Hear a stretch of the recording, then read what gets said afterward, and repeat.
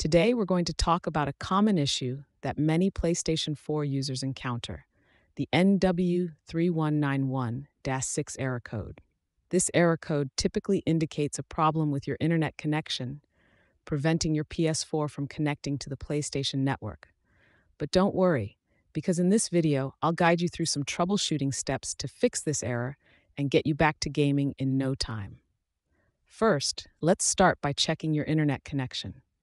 Make sure your PS4 is connected to your Wi Fi network or directly to your router using an Ethernet cable. If you're using Wi Fi, try moving your console closer to the router to ensure a stable connection. You can also try restarting your router to refresh the network settings. If your internet connection seems fine, the next step is to check for any system software updates. Sometimes, outdated software can cause compatibility issues and result in error codes like NW 31291 6. To check for updates, go to the Settings menu on your PS4, then select System Software Update.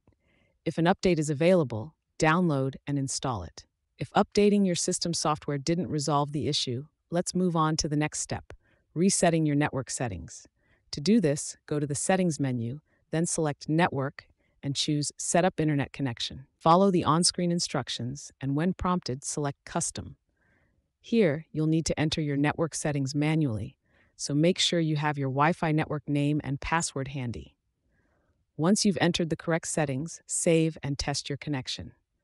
If the error code still persists, it's time to consider some advanced troubleshooting options. One option is to change the DNS settings on your PS4. To do this, go to the Settings menu then select Network and choose Set up Internet Connection. Select Custom, and when prompted, choose your connection method, Wi Fi or Ethernet. On the IP address settings screen, select Automatic. Then on the DHCP hostname screen, select Do Not Specify.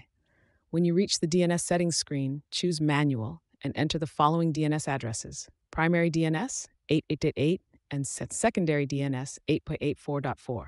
Save your settings and test your connection again. If none of these steps have resolved the NW31291 6 error code, it's possible that there may be an issue with your internet service provider or the PlayStation Network itself.